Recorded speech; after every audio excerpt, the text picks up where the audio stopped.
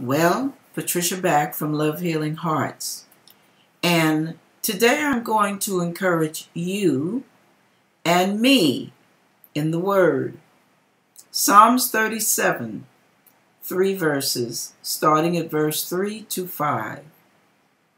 Trust in the Lord and do good, so shalt thou dwell in the land, and verily thou shalt be fed. Delight thyself also in the Lord, and he shall give thee the desires of thine heart. Commit thy way unto the Lord, and trust also in him, and he shall bring it to pass. Now, I read that because I am encouraging myself in the Lord as I encourage you. So let's all of us be encouraged together, shall we? Listen, I just had a game played on me, and I know that I shared it with you a little while ago. And it was an attempt to, uh, it was an identity theft scam on Facebook.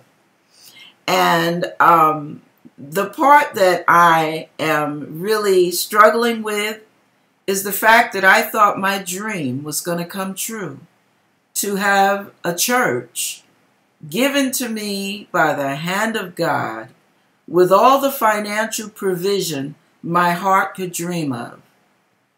And it didn't happen.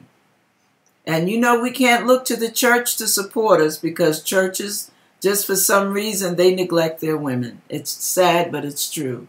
So we have to look to God. And um, I just say that to say to all of you God is not a second class God. God is not tacky. He is true to his promise. And we have to stand by him. We have to encourage ourselves and remind ourselves of all the miracles that he has done in our lives. Am I right or wrong?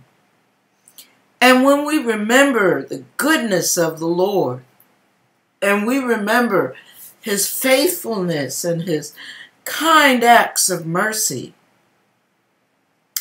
it will encourage us to look forward to him fulfilling our promises, our heart's desire in his promises. Because what God has for us it is for us. And even though we have to fight and struggle with disappointment and discouragement, no matter what kind of games people play, God is faithful. God is good. And I give him all the praise and glory because I know one day he will give me the desires of my heart. I believe he put the desire there in the first place. Now, with the identity theft person, with the kind of money they were going to give me, I was looking forward to getting a building and paying it in advance for three, four, five years. That would have been wonderful. And being able to do community outreach and and uh, support groups and inner healing ministries and it was it, i mean we were going to do all kind of things. We were going to have widow support groups.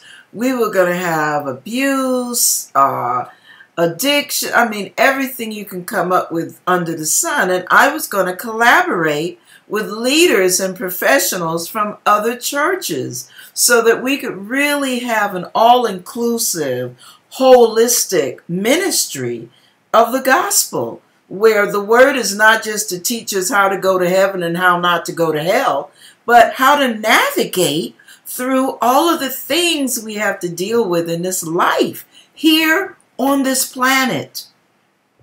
So, I say that to say, be encouraged. Please be encouraged because even though your plans may have been thwarted or your dreams may have been stuck on the back burner, or buried for that matter, you can still dig them up because remember, God is the God of the resurrection. Jesus said, I am the resurrection and the life. So believe on him. Believe that whatever it is that you may have given up on, that you may have thrown in the towel on, it can still happen because with God, all things are possible. Amen. Don't be downhearted. Don't be discouraged to the point where you give up, where you decide, well, it must not be for me because God just seemed to have forgotten about me. No, that's not the kind of God you serve. That's not the kind of God He is. He is faithful to His promise to commit and do and fulfill and complete what He has started. He has not forgotten you. He has not forgotten me because there are too many souls, too many lives out there, too many people who desperately need Him, who desperately need to understand who He is. And who better to explain but you and me?